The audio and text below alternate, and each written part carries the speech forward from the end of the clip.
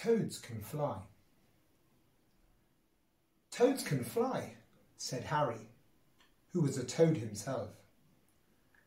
Toads can fly, and I'll be the first one to prove it.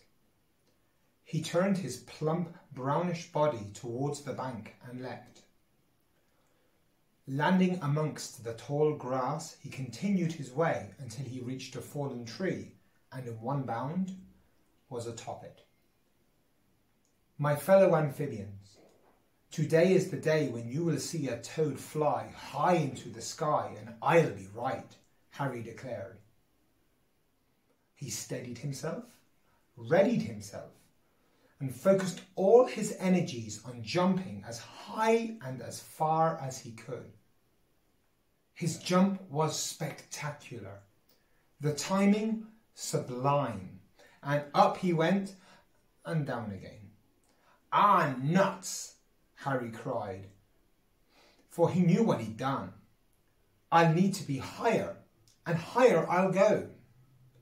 So, back onto the tree, and in another leap, he was now on a chair.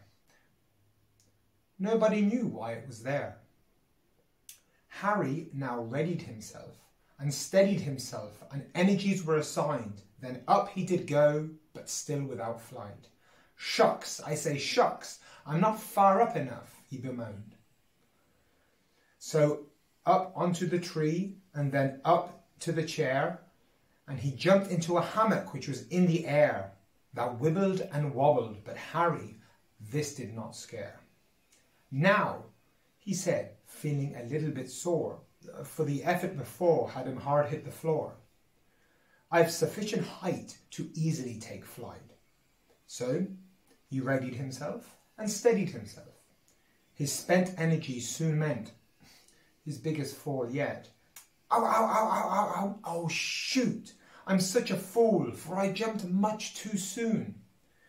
It was here, now in pain, and being dejected again, that Harry the Toad should have said no.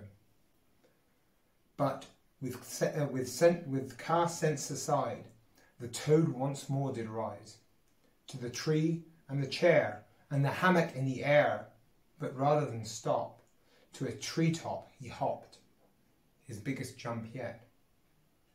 Now this, he said with a voice full of glee, is high enough space to jump, so I shall ready and steady myself for flight. Am I right? There was silence down below, and for the first time his eyes did go, look to the ground was too high, much too high for Harry. Now fear set in, and he was too fearful to do anything. The hammock was out, it kept moving about, and the height from the chair was a total nightmare. And forget about the fallen tree. Harry sat and cried. He wished he'd never tried. That day a toad died in a tree high in the sky trying to prove that toads can fly.